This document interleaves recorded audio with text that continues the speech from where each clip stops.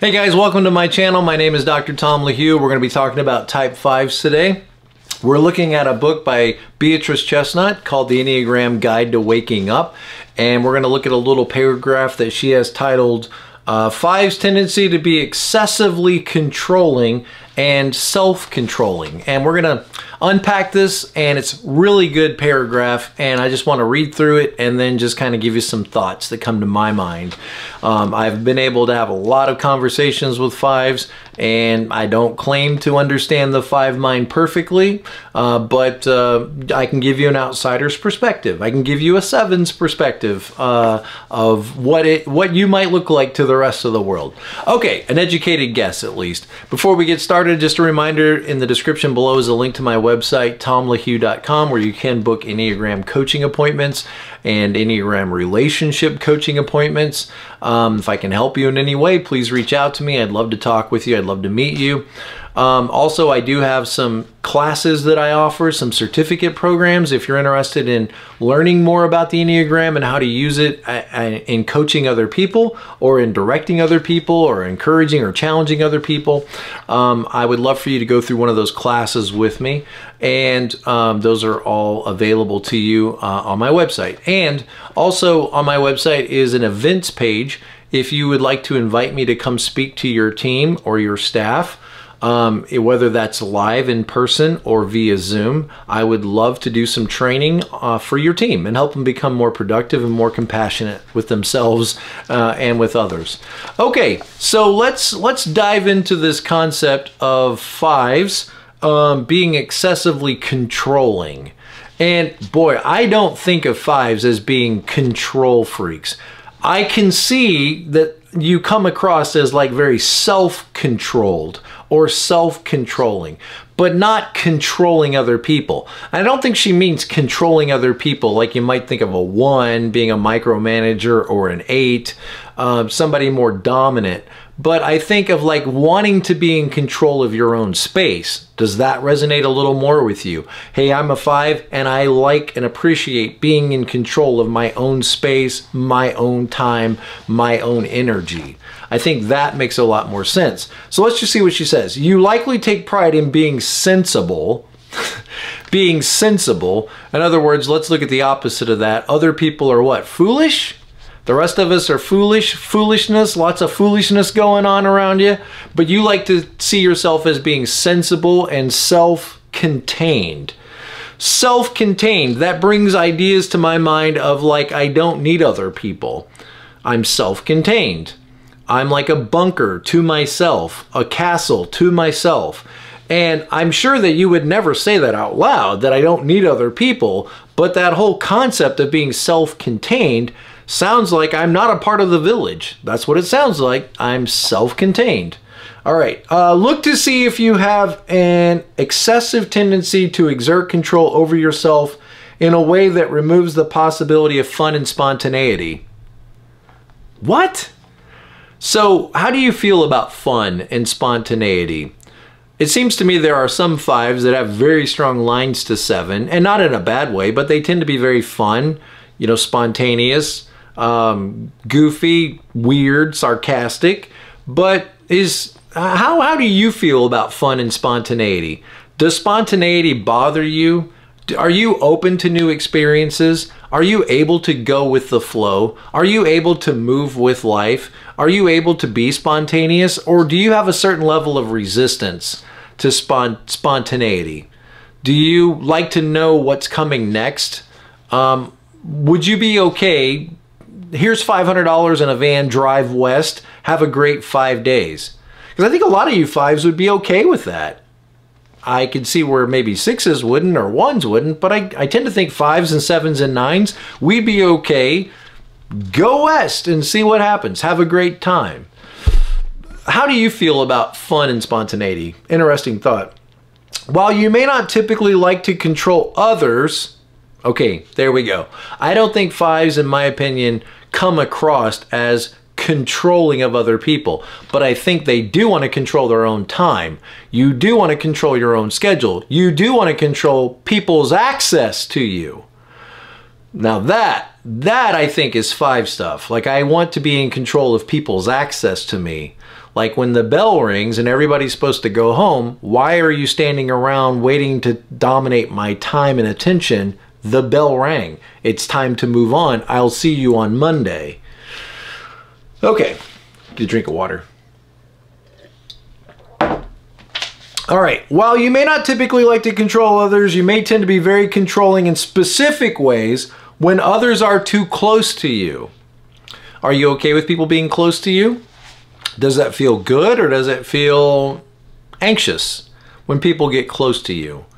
Uh, do you let people in? Do you let people get to know you? And if you struggle with that, at what cost is it to you by having difficulty letting people in underneath that shell, you know, behind the walls? Can people really get to know you? Do they have access to you? Do you have access to yourself? Can you access your own heart and your own feelings, your own emotions? The tendency comes from a need to proactively prevent people from invading your space. How do you feel about your space? Is your space clearly defined? Do you work, uh, you know, attentively and actively to limit the amount of people or time that people have access to your space and your attention, occupying your time? Does it feel exhausting when people are wasting your time? Are you very sensitive to that? People wasting your time. Are you okay with people wasting your time or dominating your attention or dominating your energy? Um, consuming your precious energy or messing up your plans. This habit may make life more comfortable and predictable, true, but maybe less intense and certainly less joyful. And you're probably saying, how do you know what brings me joy? It brings me joy to have my, you know, my space respected. Yeah, I get that. I understand that it feels more comfortable, but so much of the good things of life that happen happen by accident. So many wonderful things that happen happen as interruptions. You know, lots of great things could happen in your life that happen as interruptions. Are you okay with those interruptions? Are you okay with those invasions of privacy? Or does it disturb you so much that you're not able to necessarily eat the biscuit when it's hot? You're not able to move with life as it comes to you. Okay, let's see what else she says. Uh, this habit may make your life more comfortable and predictable, but less intense and joyful. You may be pushing away the people that you love without fully realizing it. Because other people may not be very good at, um, you know, assessing your ability to connect or whether or not the flag is up for business. Are you open for business or not? And so they want to interact with you on their terms, but they're getting a clear message from you that you're not available, that you're checked out, you're withdrawn. And so maybe people move away from you and they would like to connect with you, but you're just kind of unavailable to them. And you could be missing out on deeper connections with people if you could be open when people need you to be open or when they want you to be open. In other words, if you could comply more with their energy are you able to comply with other people's energy? And I'm sure you're probably watching this thing, oh my goodness, Tom, I do this all the time. It's so exhausting. It wears me out. And you're telling me to do it more?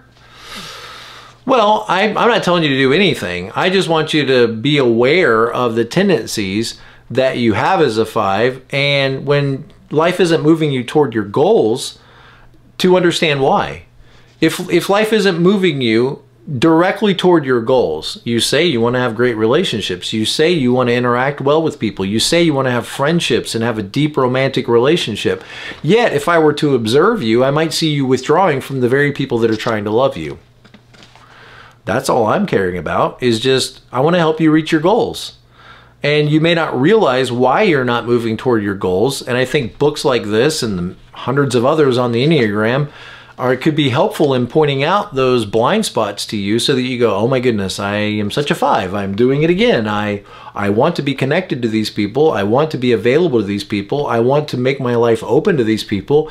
Yet I want it so much on my own terms that maybe I'm not able to fully engage with people where they are or be present with them the way they want me to be or the way they need me to be. I'm not telling you to change. I'm just saying what does it look like if you look at it through a different lens. Okay. Um, you may be relying unconsciously on living a safe life that transpires mostly in your head. A safe life. Five, a fear type. Five, six, and seven, fear types, safe. A safe life. Doesn't that feel kind of gross? It does to me when I hear a safe life. Like, what little kid goes out, you know, playing, pretending to be a hero that lives a safe life?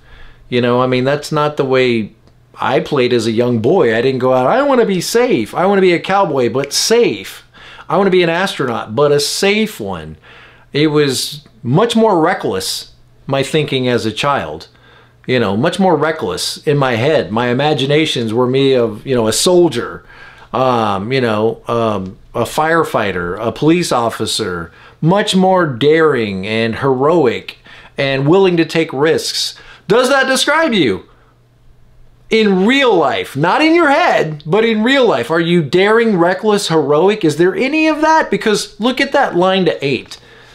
Wouldn't you describe eights to some degree as daring, reckless, heroic, willing to take risks, willing to overcome obstacles? And look, you have a direct line to eight when you integrate at your best, you look like an eight.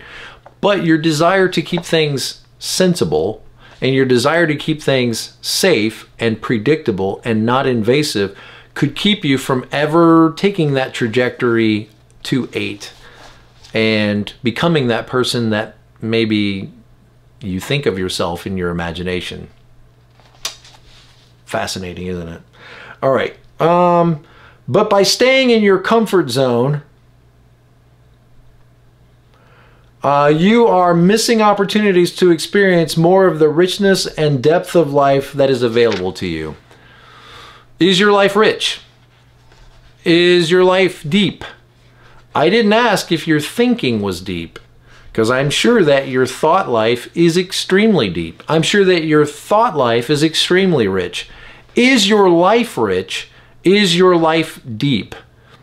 Do you have um, balance in your life? Good questions and good things to think about. Uh, as always, guys, be present to life. I'll see you next time.